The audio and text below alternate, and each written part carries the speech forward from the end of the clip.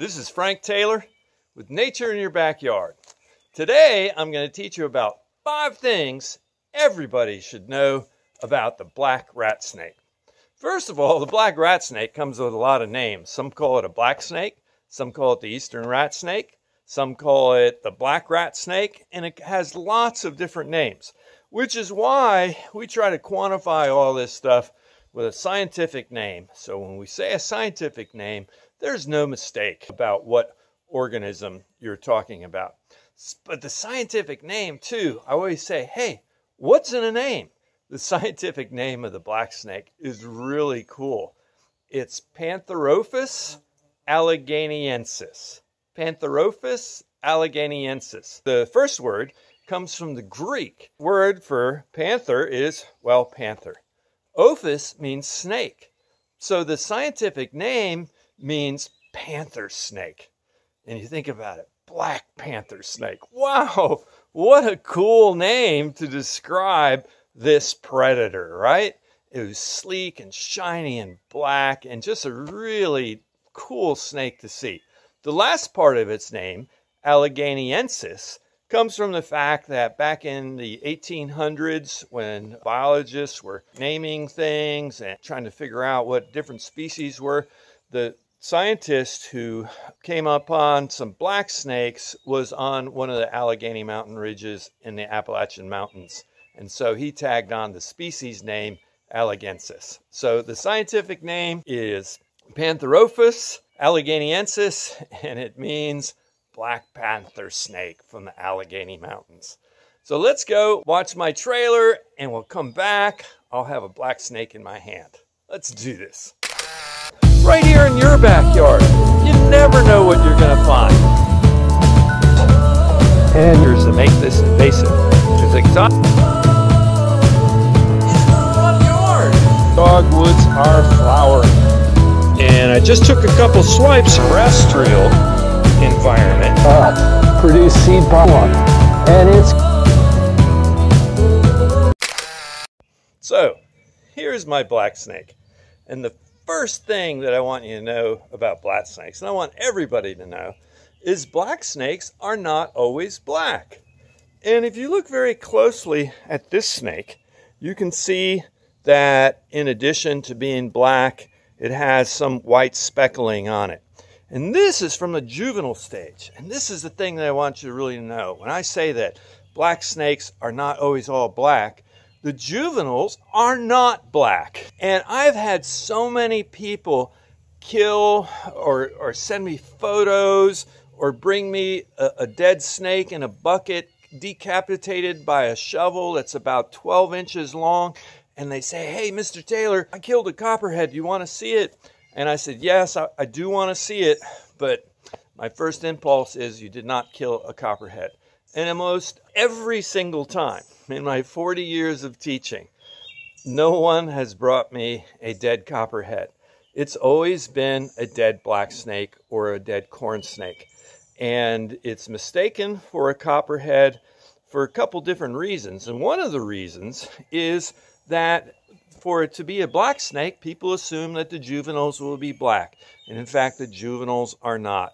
And I don't have a juvenile with me, this is a snake that I just picked up. You, this is a snake that you are likely to find in your own backyard, and just like I did. On another time, I'll do a video of the juvenile black snake. And the juvenile black snakes, rather than being all black, have blotches on them on a gray background. The blotches can be black or brownish, so they're often mistaken. So, the number one thing I want you to know about black snakes is number one, they're not always black.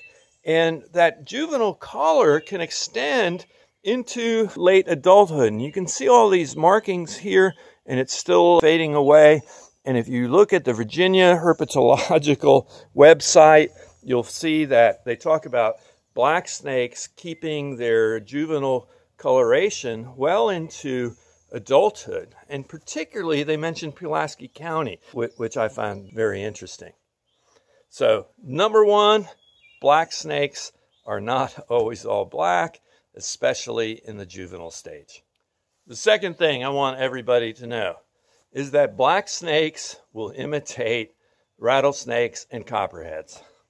All right, so here's another reason why we get a lot of mistaken identity. You can see that his head is kind of oblong shape, but one of the things that black snakes will do is they will mimic poisonous snakes. It's called Batesian mimicry, when a harmless organism imitates organism that is harmful. For example, viceroy butterflies do Batesian mimicry. Viceroy butterflies look just like monarch butterflies. Monarch butterflies are black and orange to advertise their toxicity. They eat milkweed, which has cardiac glycosides in it, that makes monarch butterflies very toxic. And there's a classic video on a, a, blue jay eating a monarch butterfly and then throwing up shortly after it's eaten it. Viceroy butterflies, on the other hand, are black and orange, but they don't eat milkweed. And they're perfectly palatable and perfectly edible. The viceroy butterflies benefit from this form of mimicry. So, what does a snake do to look like a copperhead? Well, I already told you as a juvenile, it has that blotching pattern, which people mistake for a copperhead. Copperhead's pattern is an hourglass, has hourglass patches that extend all the way around the body. But that's a lot of complexity to, to look at in a second of looking at a snake. But what these guys do when they're agitated, and this one is not agitated, they can flatten their head out and make it look like its triangular shape. I mean, really, really distinctly triangular shape. When I talk about snakes, I always refer to the Virginia Herpetological website. It's a fantastic resource for reptiles and amphibians in the state of Virginia. You should check it out. And they got some great pictures of a black snake that was agitated that flattened his head out. So here's a, a, snake in a mimic position of a poisonous snake. A poisonous snake will uh, reach back like that to be in a position to strike, and with that, he, he can be much better at striking. Also, notice how triangular shaped his head is. Do you see how he's changed his shape of his head into a triangle? That's another thing they'll do, another form of mimicry to imitate a poisonous snake. So, the other thing these guys will do, and this guy did it. Now, I got to remind you, this is a wild snake. This snake, now he's really being wild because I think because he didn't feel supported. This snake almost certainly has never had human contact in his life. And a couple days ago, I found him I carefully picked him up, and now I can handle him. And so, you know, people are so terrified of snakes, you know, they're, they're really not so ho- horrible. So, what this snake did, though, when I had him in my container and I opened the lid the next day to check him out and put some water in for him, he started making his head triangular and vibrating his tail.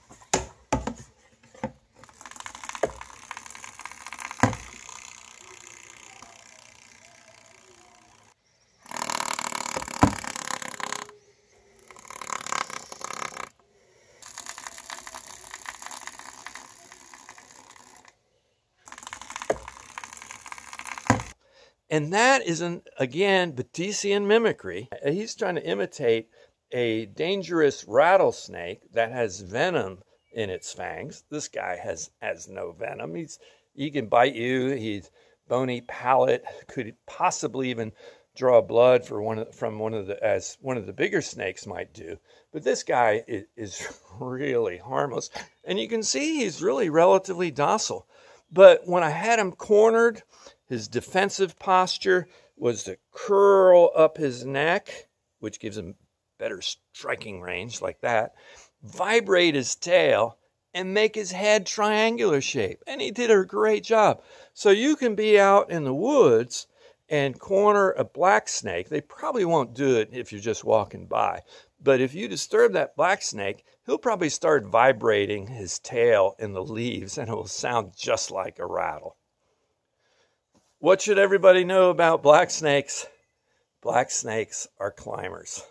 And if you look at the Virginia Herpetological website, they describe the black snake as being terrestrial and arboreal.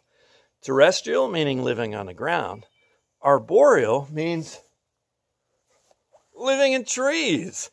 And so I always tease my friends that are a little snake shy. These people go out in the woods and they're always, you know, looking on the ground, looking, you know, make sure there's not a snake near them. Well, I tell them, hey, you can't just look at the ground. You need to start looking up in the trees. And I've had numerous instances of seeing black snakes in trees. Many people have experiences with black snakes climbing a tree or bush near their house to get at bird eggs or young birds. They've seen black snakes climb the walls of their house to, to get at a nest. I had a black snake that was probably five feet long.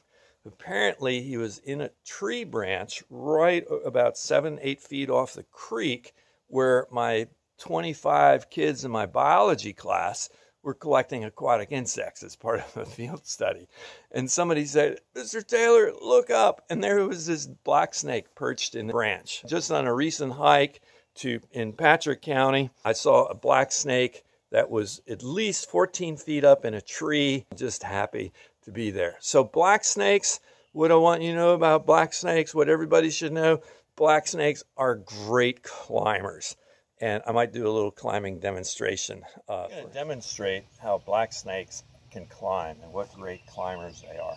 But here's a vertical tree, and here's my black snake, and you can see that, look, mom, no hands. It's amazing how they can climb a 100% vertical surface with ease you know, almost like he's glued on there. And one of the reasons they're good climbers is they can essentially see how different the scales are uh, underneath the snake compared to the scales on the top. And they can pretty much control each one of these scales individually.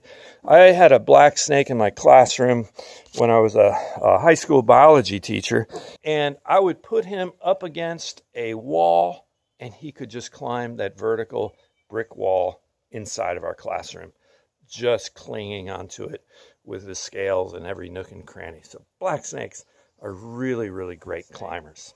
I just placed them on the tree and using those scales, those belly scales, he can attach to every little crevice he can find. And they're just amazing climbers. They're arboreal.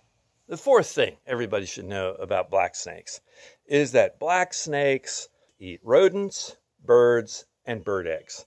And it's really great that they eat rodents. It's a misconception. There, I've heard some people say, oh, if you have black snakes in your barn, you won't have copperheads because black snakes hate copperheads and they'll eat them.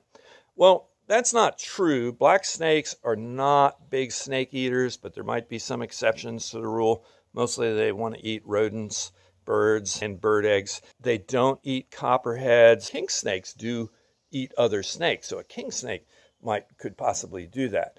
But the black snakes, if you have it in a barn, well, I always say that's a great thing. You know, they don't eat the copperheads, but if a black snake is in your barn, that means there's food in your barn. And the food are probably rodents, and it's great to reduce that rodent population. If you have a black snake in your barn, you're probably less likely, just based on biological theory, not to have a copperhead because black snakes will outcompete the copperhead and occupy that niche.